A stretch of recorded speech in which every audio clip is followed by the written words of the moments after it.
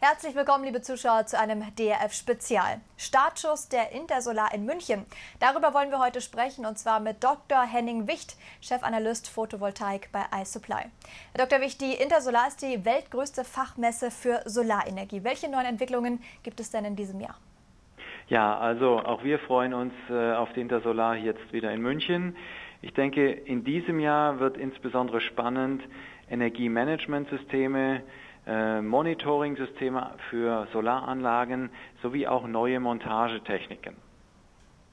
Schauen wir mal auf den Handelsstreit, auf den Solarstreit zwischen China und der EU. Der eskaliert ja so langsam. In sechs Monaten steht dann eine Abstimmung der einzelnen Länder in Europa zu den Schutzzöllen an. Mit welchen Ergebnissen rechnen Sie da? Also ganz konkret, äh, das Thema beschäftigt die Branche natürlich schon seit Anfang des Jahres. Und äh, die aktuelle Entscheidung, äh, dass nämlich ab 6. Äh, oder 5. Juni 11,8 Prozent Zoll auf chinesische Module jetzt bis Anfang August ähm, erhoben werden, das ist ein erster Schritt in der Diskussion. Der Schritt ist äh, noch verkraftbar für alle Parteien. Das heißt, die ganze Zulieferkette und der, die Vertriebswege werden in, im Moment so weiterlaufen. Äh, Aber es zeigt auch, dass die EU hier Position bezieht. Zu welchem Ergebnis es in sechs Monaten kommen wird, wenn dann über den endgültigen Tarif abgestimmt wird, äh, kann ich heute auch nur spekulieren. Ich hoffe, dass aus europäischer Sicht hier die EU und ihre Mitgliedsländer an einem Strang ziehen. Nicht, dass es jedes Land seine Partikularinteressen vertritt. Aus chinesischer Sicht muss man fairerweise sagen, wären natürlich niedrigere Zölle wünschenswert. Würden denn die hohen Strafzölle wirklich den europäischen Solarherstellern helfen, wieder dauerhaft wettbewerbsfähig zu sein? Oder ist es doch nur ein kurzer Aufschub? Ja, ähm,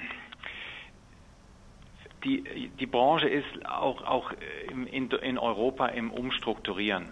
Das heißt, man muss sich überlegen, an welchem Teil der Wertschöpfungskette äh, möchte ich partizipieren, wo möchte ich teilnehmen, wo kann ich Wert, äh, Werte generieren. Es ist klar, die Modulproduktion als solche wird ein, ist ein Commodity-Geschäft. Hier werden keine riesigen Margen zu erwarten sein. Ich denke, das haben viele europäische Hersteller verstanden und gehen nun stärker ins Systemgeschäft. Insofern glaube ich, dass die europäische Industrie zumindest in Teilen durchaus wettbewerbsfähig ist. Aber sie muss sich fragen, wie positioniere ich mich in der Zulieferkette? Jetzt ist ja aber auch Siemens ausgestiegen aus dem Solarmarkt. Welche Bedeutung hat das für den europäischen Markt? Ja, Siemens hat heute angekündigt, äh, keinen Käufer für die Solarthermiesparte gefunden zu haben. Das ist jetzt ehrlich gesagt nicht ganz überraschend. Die Solarthermie hat äh, gelitten in den letzten zwei Jahren, auch unter dem Preisverfall der Solarmodule und der Solarsysteme, sprich Photovoltaiksysteme. Insofern nicht ganz überraschend. Äh, es tut natürlich weh, wenn sich ein, ein so bekannter und, und wichtiger Industriespieler wie Siemens jetzt aus der Branche verabschiedet. Äh, ja, das tut weh und äh, wir werden sehen, wie sich das in Zukunft verhält. Schauen wir mal ein bisschen in die Zukunft, Herr Wicht. Welche Technologie halten Sie dann für ja, wichtiger, zukunftsfähiger? Ist es eher die Photovoltaik oder doch die Solarthermie?